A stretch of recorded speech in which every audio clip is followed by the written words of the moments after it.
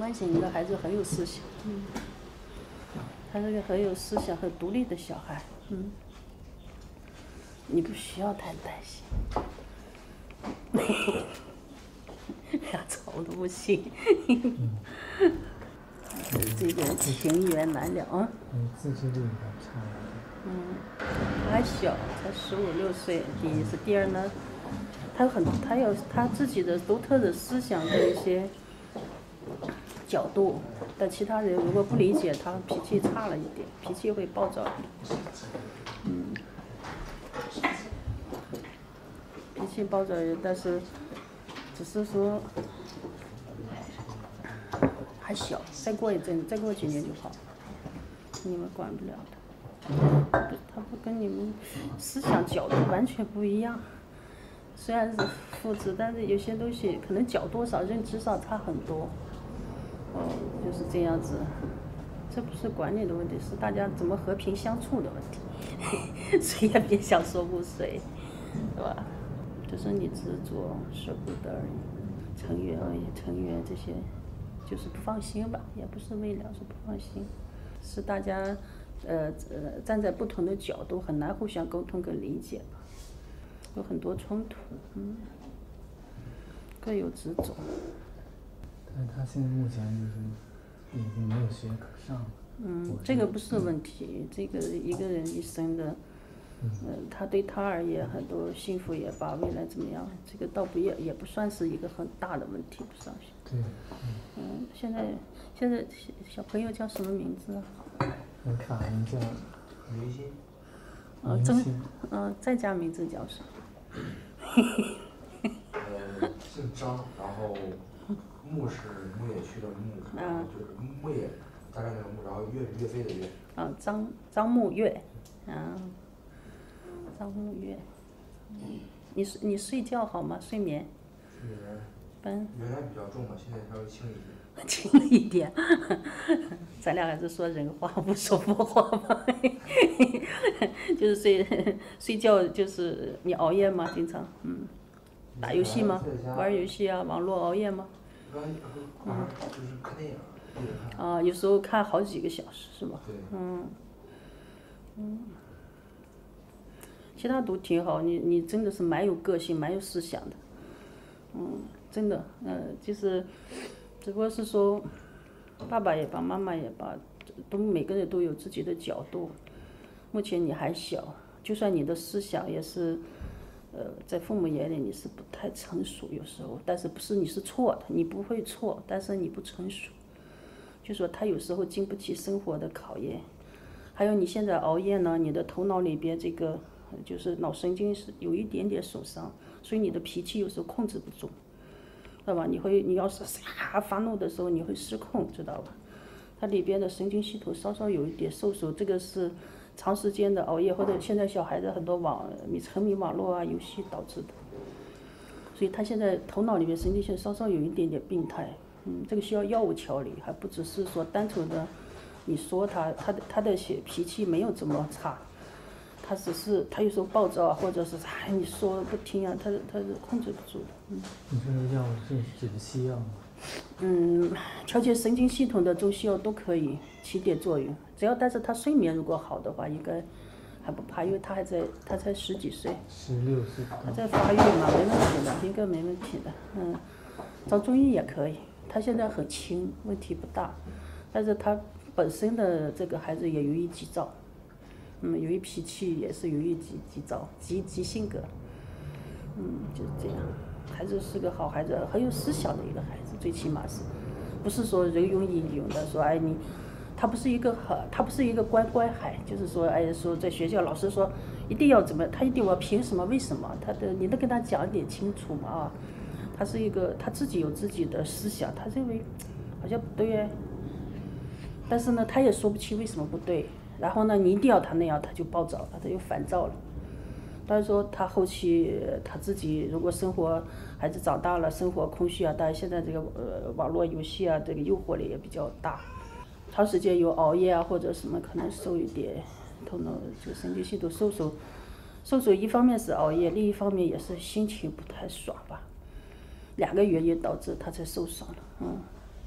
他小的时候，医生有一段时间说他是多动症，但是呢，因为多动症他并没办法确诊。他不是多动症，他只不过是喜欢打闹，喜欢上桌子、上房而已。就是他他精力太旺盛而已，精力旺盛跟多动是有本质区别的。旺盛不代表多动，嗯，多动是停不住，精力旺盛是给我一个停的理由我就停住。就是你给我一个理由，我我停住，我就可以停啊！我不是停不住，多动是坐在这儿，你让他停，他说行啊，停啊，但是他手还在那儿动。这个孩子是说，你给我一个理由，我可以停，我停下来干什么？我累呀，我憋屈啊。嗯，因为他现在没有学上了嘛，跟他母亲的这个关系也不是太这段时间。哎，让他去学那些传统文化的，学史书，可以吗？嗯，他。他也不想去，是吧？嗯，原来也上过这种传统文化的学校，嗯，你觉得憋屈是吧？管得太严了。不喜欢那种。没有的那种氛围是吧？对，还是感觉这个这个外面世界虽然残酷一些，但是很想经历。外面世世界不残酷，怎么残酷呢？看你外面世界残酷不残酷，幸福不幸福，在于你的认知角度，知道吧？你不用你不用拿网络系统那种全部负面的眼光看这个世界吧。虽然这个世界有负面的东西，但也有正能量啊，也有正面的嘛。最起码以负为而看待世界嘛，是吧？啊，也也你为什么不看那些正的、美的、好的啊？是不是？是不是你经常看见说这个，因为负负能量的东西或者是残忍的东西、残酷的东西，给我们心理上留下的创伤跟印记确实比较深，但不代表这个世界没有美好，而不代而且不代表我们不应该追求美好的，这才是人力啊。如果我们相信这个世界真的是残忍的、负面的，那么我们全部魔性大发了嘛？是不是？那就你，如果你一直相信都是坏的，那我为什么要好呢？大家都坏，为什么我要偏偏偏我要好呢？是吧？我好，我有啥好处呢？这不都被大家都坏，大家都会骗我，都会欺负我，我要更坏一点嘛？不是？那你想干什么呢？你不上学，现在出社会又觉得残忍。觉得嗯又精彩。他们告诉我，就是外面比较那些，嗯，为什么要相信这些呢？对，是这是别人告诉你的，但我告诉你很美好，这个世界，是吧？但是呢，只是你有没有发现美好的眼睛，知道吧？还有你的认知角度，嗯，同样坐在这个房间里，很多人有的人心里很欢喜，有的人。充满了忧虑，有的人很就是每一个不同的时时空，它不同的是地点，不同的时间，就是说同样的是人，大家都一样的是人，知道吧？那为什么我会体验不一样的觉受？就是因为认知角度跟心里挂碍的东西不一样，知道吧？嗯，牵挂，有时候牵挂，显然你现在也不挂碍什么，是不是？你只是想活得更好、更快乐，你你在这个世界体验想活得更好、更快乐而已。嗯，但是如果你的眼中只看见邪恶，只看见丑陋，只看见大家很很差的东西、很负面的东西，那我觉得你不会幸福的。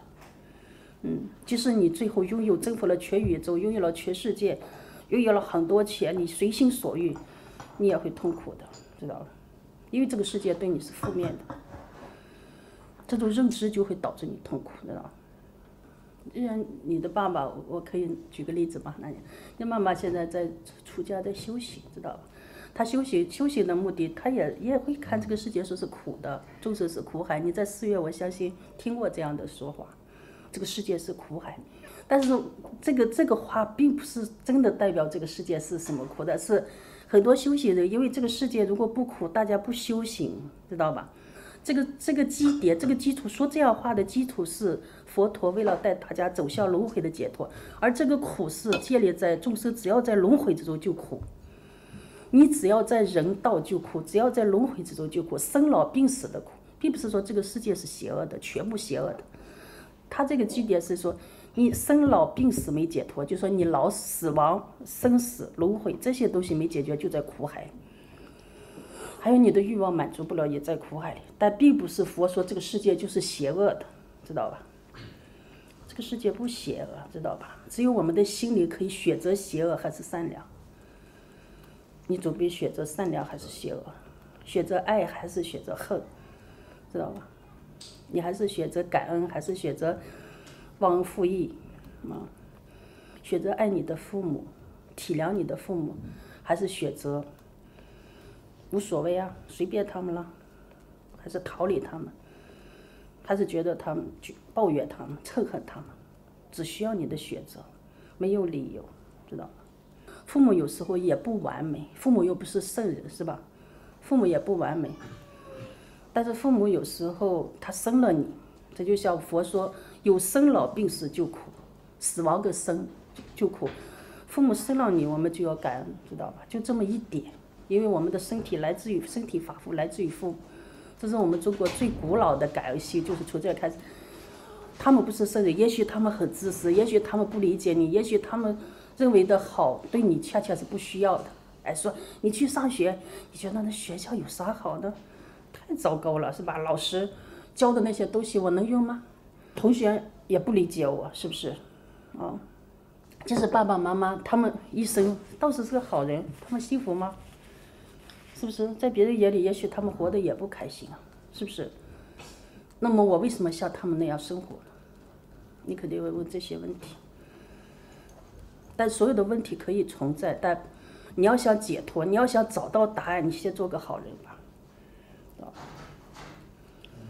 你做个坏人，你更解脱不了，你更找不到答案，没有答案，对吧？越来越差这个世界，就没好人呗，所以这个世界不会幸福的，就是这样。但这个世界有人会幸福，告诉你，因为他从从一开始就相信这个世界是美好的，相信每个人都会成为最好的人，即使他偶然犯了错，只是那件事做错了，但人是很，人是完美的，只是有有有坏事，但没有坏的人。那个人，有的人可能对，可能他在在外边杀人放火，做了很多坏事，但是他回家对自己的孩子特别爱，特别好。他不是个坏人，但是他只是做了一件坏事，知道吧？但是为什么他做那件坏事？也许他还是为了回家养孩子，因为他的孩子需要奶粉，需要吃，需要喝，需要交学费，知道吗？还是挺好的，只是他没有，他没有体验到这个世界美好的东西，他甚至他没有从眼睛里看到这个世界的美好。很有思想的小孩到十二岁以后，他开始观察这个世界，他看到的全是痛苦跟烦恼。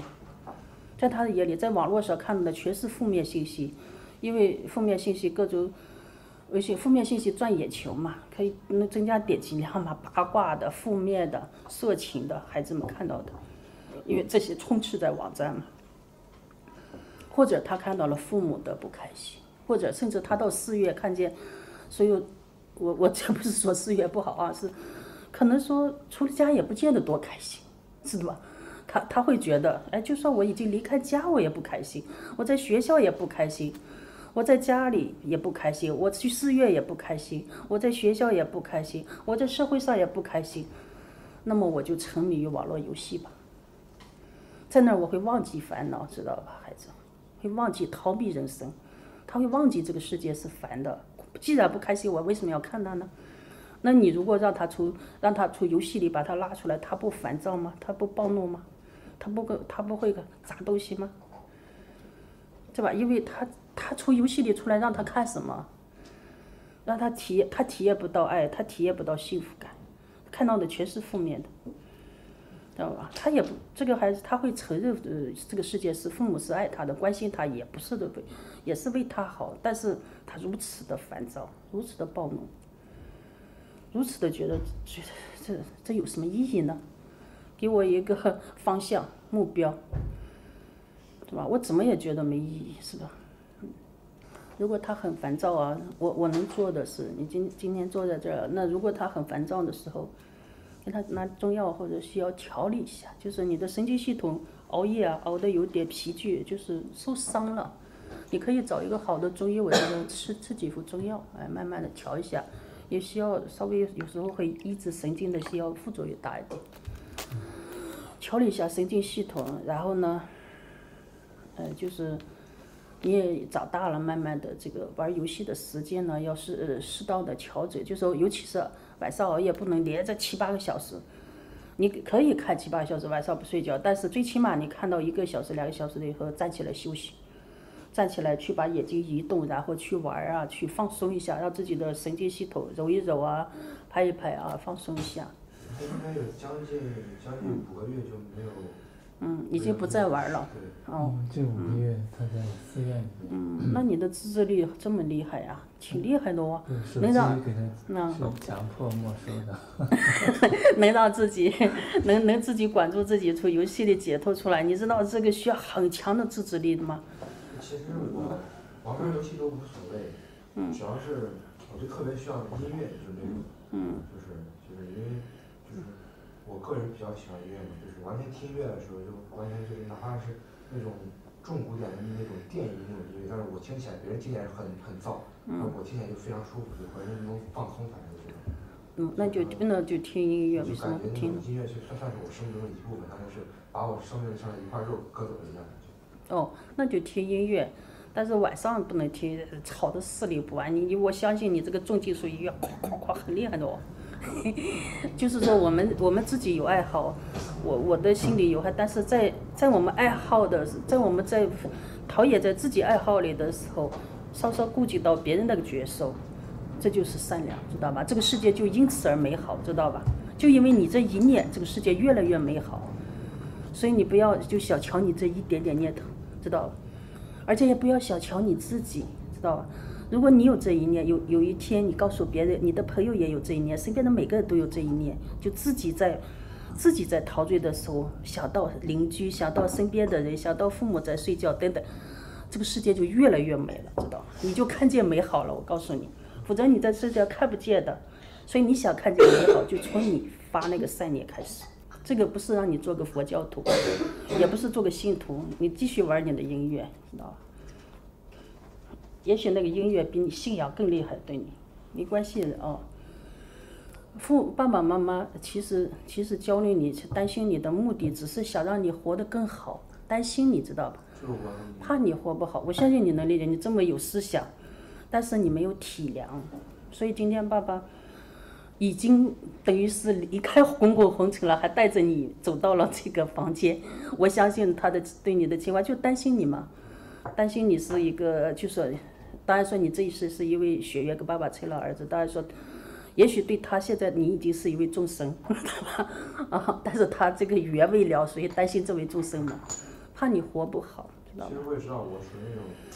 不太会感感恩的人嗯，不，你你懂得，你懂得，只是你觉得你没看到美，所以你这么差，我烦躁，我感恩什么？自己你觉得没活好，觉得爸爸妈妈如此努力的想让你活好，既然你没活好，既然你活得不自信，活得觉得自己，甚至说，如果学校啊，或者是一些呃身边的人机构啊，或者对你表示了一些不满或者是什么的时候，你会愤怒，觉得他们不理解你。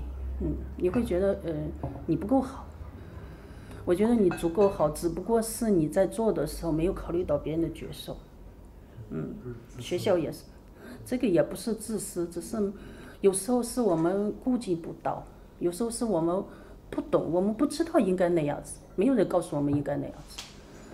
我们还没有学会，我们刚刚开始，你才十五岁啊，十六岁，一个老师跟爸爸妈妈要告诉你这一点。当你在玩重音乐的时候，你稍稍顾及别人的角色，稍稍听一点。但是呢，你这一次又忘了，下次又忘了，下下次再提醒一下，多提醒一下你就记住了。每个孩子都是这样记住的，嗯，不是天生就懂得的，知道吗？嗯，我们小时候吃奶的时候，你知道拼命的哭。拼命的哭是因为我要吵醒所有的人喂我奶，知道吧？没有一个小孩悄悄的哭，怕吵醒他妈，知道吗？没有这种，因为从那个时候你就没说，那个时候你妈没会怪你说是你你怎么这么大声哭把我吵醒了？你说我不大声哭你不喂我奶啊？是不是？现在你也在拼命的玩音乐，你告诉他们音乐是我的一部分，没有人知道这一点。音乐跟我是我的生命，我喜欢，我想蹦，我想跳，我想喜欢。跟你吃奶的时候是一样的，但是现在你要学会了，因为你长大了，知道吧？有人要开始告诉你那一点，但你吃奶的时候告诉你你也记不住。告诉你，这这个不代表你是个坏孩子，是这样的啊。不要给自己下结论，这个世界没有人能给你下定论，知道吗？我是想在他没有这个自制力之前的，就留在我身边。他有，他五个月没看手机。嗯，就是。啊，你觉得你没收了，先不让他回去，因为他母亲也不想让他回去。他现在。你跟他母亲的角度跟观点跟他不一样。他回去也没有学可上，然后他。这个世界有很多可学的东西，怎么会一定要去上学呢？让他学习其他东西。嗯，他不喜欢音乐吗？学音乐去啊。为什么不去学音乐？是吧？送他去学音乐，十六岁学音乐来得及啊！敲击大击大鼓手啊，跳街舞去啊，那什么都可以啊。那我我把我的想法就当着老师说了啊。他其实自制力很差，他回去以后他就主要就在游戏上，就不在学音乐。游戏诱惑力大嘛？游戏里面也有音乐嘛？游戏也不错。我觉得真学音乐的人，他会不顾及游戏的。像那那不一定。我原来是我我是非常喜欢音乐的，我是自己。怪不得有遗传。我我自己学的声乐，找了老师，声乐、钢琴啊，其他的啊，那就是我自己找。就那个一个游戏就让他就击垮他。哦，他昨天从今天开始，他的昨天是不是他？嗯。今天坐在这儿的时候，你给我的对他的评价是不一样的。不管你怎么说他，我都我我我有我的认知。当你说这些的时候，他小稍稍有点愤怒，因为你在给他定性，知道吧？他每天都是新的这个孩子，因为他他还在发育成长。在这之前，他一直是这么做的。我我相信你在这之前是一直这样，我太我相信你，因为你很伤心的告诉我。因为大家都有孩子，我也有两个人，我教育孩子，我们一直在锲而不舍的教育着这些孩子，是吧？这个没关系，再接再厉，是吧？但孩子们在，孩子们在每天都在变化，一切都在无常之中。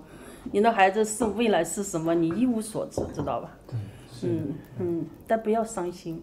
嗯，伤心也不会，伤心也不会。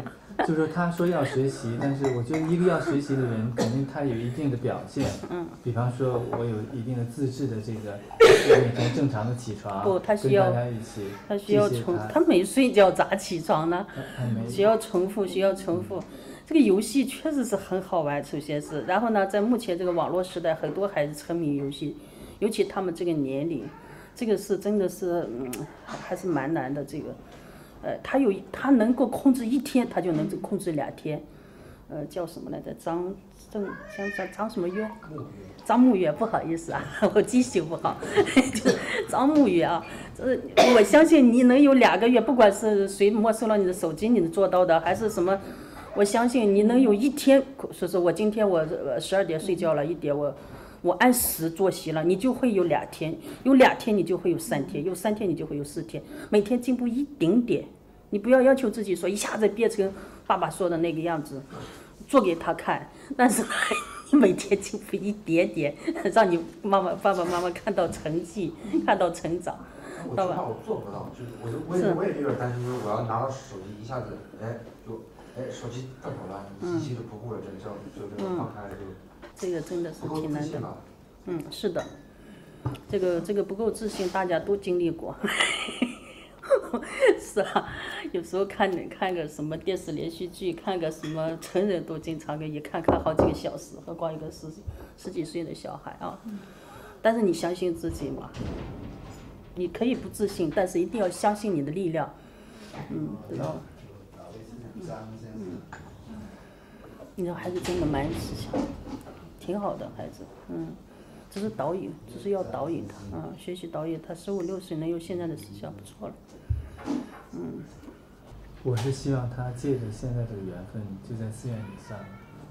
他就不是待在寺院的人，你别压抑他了，我觉得 寺院不适合他，是吧？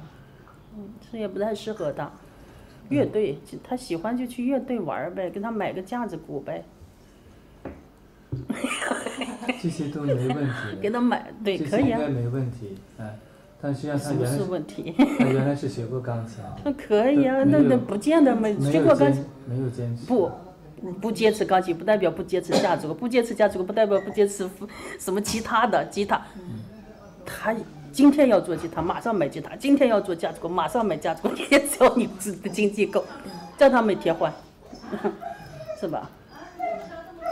不会知道他喜欢什么，知道吧？不会，除非他做完。最后他说喜欢音乐，他可能碰都不碰音乐，但有一天他会全拿起。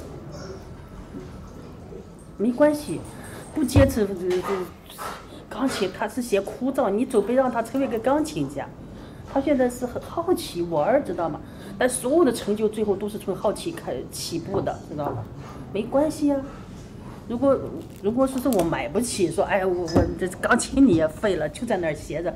假如果我没钱买不起，你能带他来这儿？我觉得买个慢慢的帮他买啊，帮帮他让他做。小小的，你那个太贵了，买不起，先买个差的哦。你喜欢音乐吗？或者自己在网上去，网上不是也有得下载软件的吗？在网上练呗，玩呗。他肯定不会说按部就班那么系统的像你说去学习的，他只是玩儿玩个玩儿是带游戏性质。既然他游戏这些东西，那你为啥不给让他游戏呢？非要让他游戏那个东西呢？不要定性他，永远没有任何一次定性给他下下定义。十六岁，他到十七八岁就好了。十八岁过后会会懂事，还有几年呗，你熬呗。对，我就想带着他在这种，我我不可能回去带着他。哦。嗯，他母亲实在对也招架不住他。对。那那你问题想跟着谁嘛？这个世界你又小，你爸爸又不放心你交给别人，是吧？嗯。你想跟的人，不代表那个人愿意带啊！你说。这个路不是应该是我自己走的，哪怕我走的 你现在往哪走？告诉我，你都在那个方向嘛？你你的目，你的人生方向是走向幸福，是不是？走向快乐，是不是？但是你懂怎么能幸福跟快乐吗？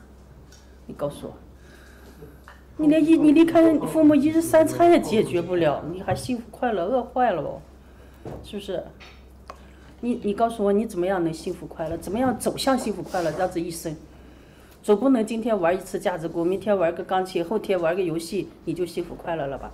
你吃饭怎么解决啊？往哪睡啊？你离开父母，嗯，你总不能露宿街头吧？是吧？打工你现在不不到十八岁是童工，是吧？没没人敢聘你，在寺院你又待不住，去学校有学的学校这个体体制不对你胃口。是吧？你告诉我你怎么幸福？如果你说出理由来，你就一个人可以闯江湖了。你爸，我说服你，努力说服你爸放手，知道吧？让你妈、你爸离你远点。人的心有时候如果是暗淡无光的话，他感应过来的人也是这样的，这是最可怕的。是这样的，但是孩子不定性，你怎么知道他暗淡无光呢？他像太阳一样在燃烧。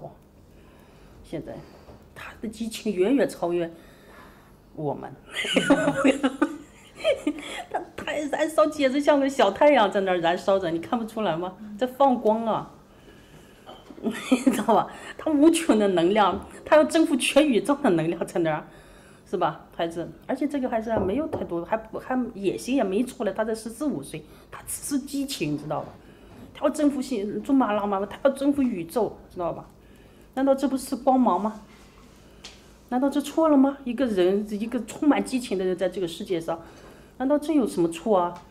他无穷无尽的力量，没有地方发泄啊！他想蹦，他想跳，他想吼，他想喊叫，他想呃，他想去敲鼓，他想去弹琴，他想去唱，但是所有的地方都说敲，闭嘴，闭嘴，静下来，是吧？事业不行，学校不行。你太过分了！你不合乎我们我们的要求，请你离开这个地方。当这次这些事情发生的时候，你说他会不会失望？你你了解他为什么想蹦想跳，他想呐喊吗？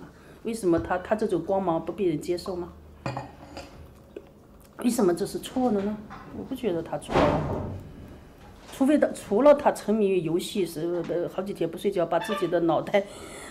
神经烧坏了一点点以外，剩下的都没错，没什么错，没错，不学习也没错啊，不想学习，有啥错呢？这都没有错误，就不错，只是说不学习是很多孩子要通过考学、考大学来去获取个理想的工作，但不代表他能获取幸福。但这个孩子说，我不想待在学校，只是如此而已，是吧？而且他也不都已经可能上完初中了吧？没有没有，他还不是说不想待在也认了字了吧？他是想待在学校，学校的学校受不了他，学校老师同学受不了。哦，他他太激情无限了，开始。我们也不觉得说一定非要要要怎么样，因为我的很多，明白你，嗯嗯嗯，你只是想要他一，你你你心中儿子的样子可能就有点不不像，是吧？他只要能走个正途就可以。哎，他现在就在正途上，这个这点千万别，他他这很正啊，他很有思想，他告诉你，他也想学架子鼓，他也想看游戏。这全是他的爱好，他想学音乐，他他想玩游戏，嗯，他想一个人待着，别烦我。这是一个成熟孩子的思想啊，是吧？他说他没自信，他有时候管着自己，有时候拿着手机管不了自己，这很对啊，谁不是这样？难道这不是一个正常人说出的话？这就是这样的哦，是人类都是这样的哦。但是告诉他，一个成功的人应该具备什么素质？是人类都是你这样的，我告诉你。但是你想在这个世界更幸福、更成功，因为七十多亿人口跟你差不多。但你想在这七十多亿人口里脱颖而出，成为更成功、更优秀的人，你必须做到什么？我告诉你，你必须有一你的特质，知道吧？有些东西你要自己负责，自己管住自己，自律。否则你就是芸芸众生，就是街上就是普通很普通的一个人，知道吗？你也别想成就什么，知道吧？但是你可以的，不要小瞧你自己，知道？不要说那些事情是别人做的，不是你，你可以的。人最大的恶你知道是什么？就是放弃了自己，那才是恶。就是首先人家别人还没小瞧你，你把自己小瞧了，放弃了。对吧？那就叫邪恶的一部分，知道吧？